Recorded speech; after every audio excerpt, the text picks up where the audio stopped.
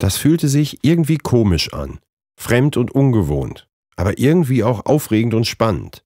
Wann war sie das letzte Mal zum Frühstück verabredet? War sie überhaupt schon einmal zum Frühstück verabredet? Sascha überlegte, konnte sich aber nicht erinnern. Heute wollte Robert sie treffen. Der Mann, der sie Dienstagabend nach Hause begleitet und von dem sie vorletzte Nacht geträumt hatte. Mit dem wollte sie nun den Tag im Sheshal beginnen. Noch vor ihrer Arbeit ein Date. Auch das hatte es bei Sascha noch nie gegeben. Aber für irgendwas musste so eine Spätschicht ja auch gut sein. Sie freute sich auf das Wiedersehen mit Robert und malte sich aus, wie er sie bereits erwartete und in die Arme schließen würde, wenn sie im Café erschien.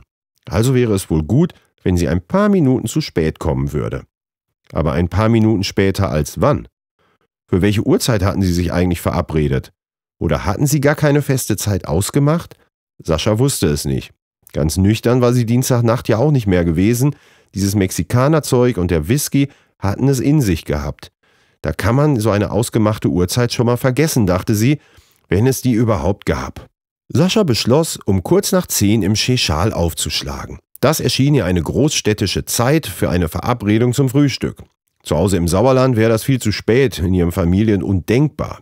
Der frühe Vogel fängt den Wurm. Nach solchen Kalenderweisheiten lebte man dort. Frühes Aufstehen galt da noch als Tugend. Lange im Bett lagen nur Tagelöhner und Nichtsnutze. Das hatten ihre Eltern ihr schon in Kindertagen eingebläut. Dabei hatte Sascha es so gehasst.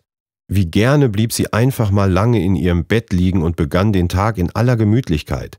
Doch ohne blöde Sprüche war das in ihrem Elternhaus nie möglich gewesen.